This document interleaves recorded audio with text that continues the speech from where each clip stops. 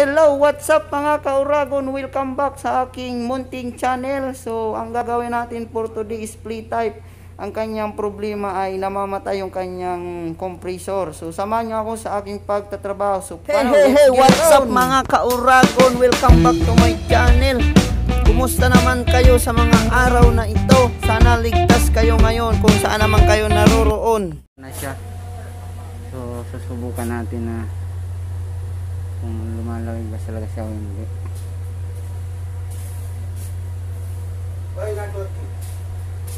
Dito sa likod.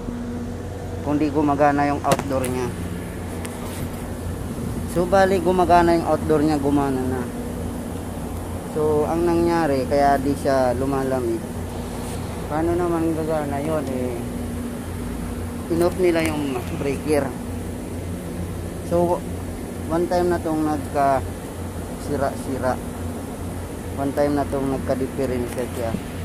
So, ang nangyari, bubuksan ko siya kasi hindi ko to slack. So, ang nangyari ito, yan. So, ang nangyari nito ay So, bali ito yung contactor niya.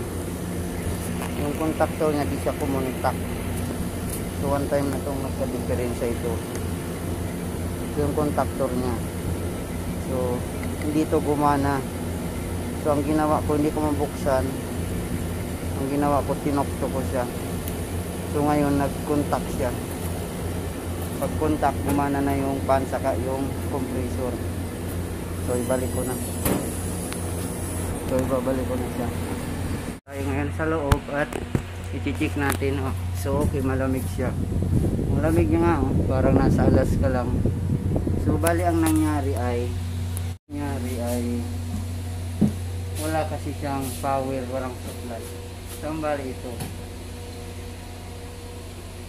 Yung main breaker niya ay binaba. So, hindi siya advisable na baba pagtapos ng duty baba tapos pag umaga i-on. Hindi siya ad- advisable on off. Kasi yan meron siyang counting. Pag na, na ano na niya na naabot na yung counting niya ng breaker so bali masisira yung breaker di na siya tataas. Kasi meron siyang maximum na kung ilan lang siya hindi na siya masisira na siya. So bali hindi siya advisable na yan gagawin natin on off. Bali dito lang tayo sa switch lang sa ilaw set. At pag dito naman sa Oy, sorry.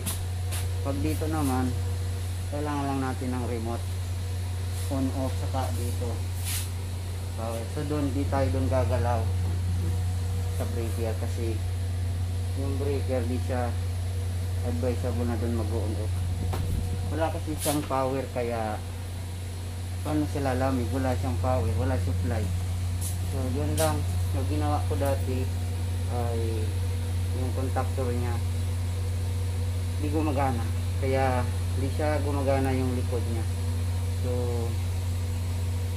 bago tayo pumunta sa capacitor i-check muna natin step by step para hindi tayo ma tawag nito ma maano sa trabaho yung oras. Kasi dami kong ginagawa. So yan lang. Sana makatulong tong ginagawa ko at na-share kong video. So maraming salamat and God bless all and thank you very much